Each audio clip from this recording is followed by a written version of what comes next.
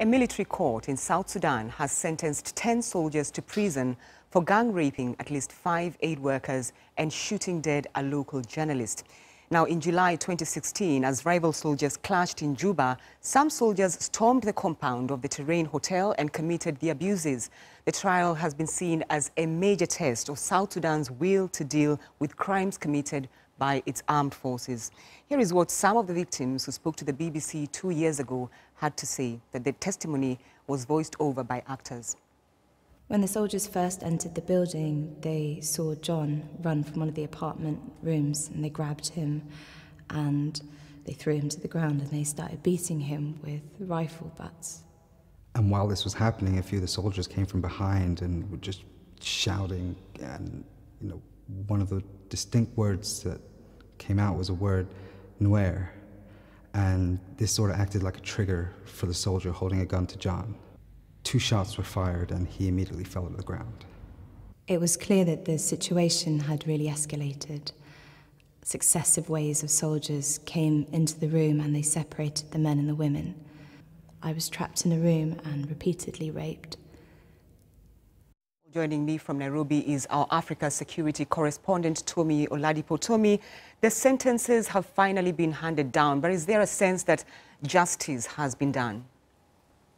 Well, there have been mixed reactions to uh, the trial and to the sentencing. First, uh, from the, the, the side of the rape victims, their representative, their lawyer, uh, said that the compensation that was uh, um, ordered to be paid out to them, $4,000 to each rape victim, uh, was described as embarrassing and insulting. Um, they felt like this did not do them justice. Uh, meanwhile, the defense lawyer said he was shocked by the, the, by the sentence handed out to his to his clients. Um, also watching very closely were humanitarian agencies and diplomats who sort of view this as a step in the right direction, but they said there's still a long way to go when it comes to justice relating to, uh, to men in uniform in, in South Sudan. But so then that, does this mark a change then? Because uh, the South Sudanese military has been seen uh, as being unaccountable for what happens uh, you know, among the military uh, and towards the Sudanese people.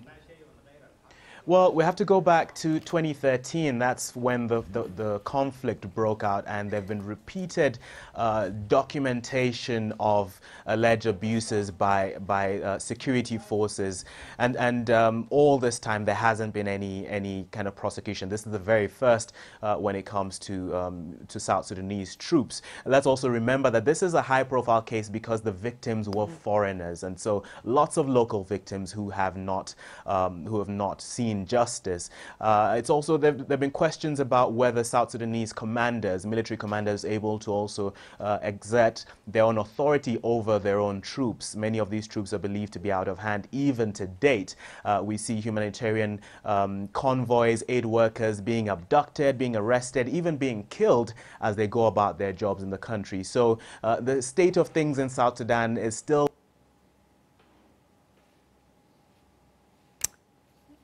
Well, we appear to have lost uh, Tomi Oladipo there, but he, was, of course, was giving us an update on that uh, story from uh, South Sudan. Um, let's now take a quick look at other stories making the headlines across Africa and the rest of the world. A Chinese business manager filmed making derogatory remarks about Kenyans has been deported from Kenya the man was arrested after a video of him making a string of racist comments was widely shared on social media.